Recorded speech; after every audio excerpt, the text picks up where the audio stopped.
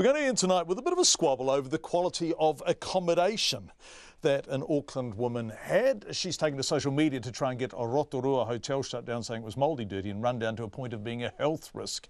Vicky May and her husband took their three children to the Silver Oaks Resort Heritage for their 10th wedding anniversary last weekend. She said they saved up the $151.20 per night for the much needed break after their house burned down a year ago. But Vicky says when they got there, they were greeted with, quote, hotel hell and not, quote, the relaxing, re energising stay that was promised. There were stains on the walls, there was mould everywhere, there was vanities were broken because they were rotten, kitchen benches were sw- swelling, mould in the fridge, holes in the walls, um, food objects all over the curtains, ripped blankets on the beds um, three towels for a family of five, cockroaches running up my son's leg. And what did you do when you got into this room and saw this? The first room, after we found um, what looked like snot smeared on the wall and food on the duvet, we went down and complained, and I also asked to move because my one of my children are highly allergic to mould, um, and the room just absolutely smelt. So they put us in a better, well, what they say was a better room, with just a bit less mould, smelling a lot better. But that was the room that the locks were broken on the doors. They were locked with deadbolts because there wasn't even a handle on the ranch slider, holes in the wall, no knobs on the bathroom doors or wardrobe doors, um, mould in the fridge, swelling kitchen bench, uh, PowerPoints that you could pull out with your hand which I think it was half the reason maybe why the jug literally exploded and launched up in the air, hitting the ceiling of the hotel roof.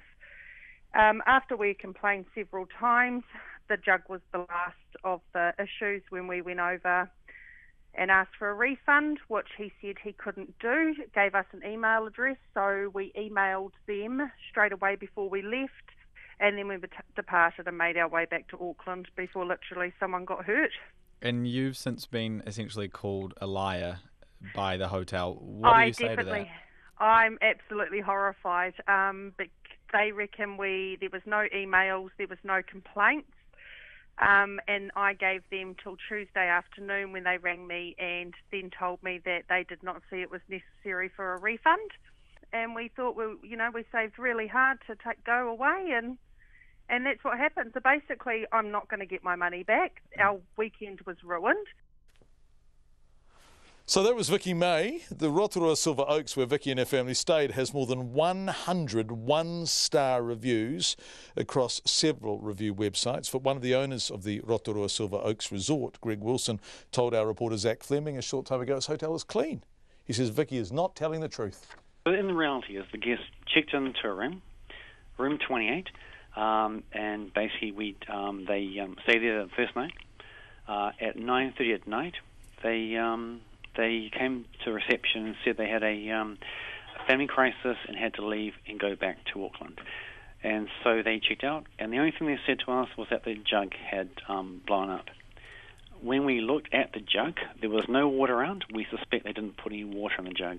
She didn't raise any concerns at the hotel. She's taken pictures of a, uh, a tennis court that is next door. That was originally part of the hotel.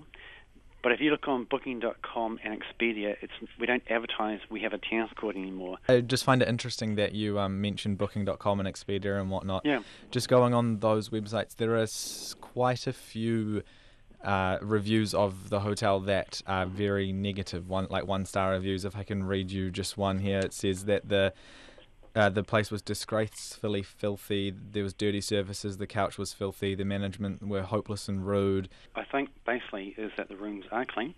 The um, the um, the the pool is always clean. We have it cleaned every week by a Bay Plenty pool. The rooms are very clean. We we absolutely absolutely very clean, uh, and we are currently in a refurbishment process of refurbishing the rooms. We've um, we have builders here refurbishing the rooms right now uh, and uh, uh, the rooms are categorically very clean.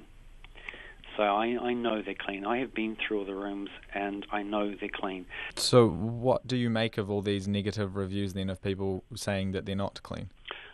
uh, I think if any customer raises an issue, we're happy to resolve that uh, issue to ensure that it's, um, that is resolved, and we always will do that. Um, I think basically is that, um, uh, uh, and, and if something is wrong, then we will certainly make every step to rectify the problem uh, to ensure they have an enjoyable stay.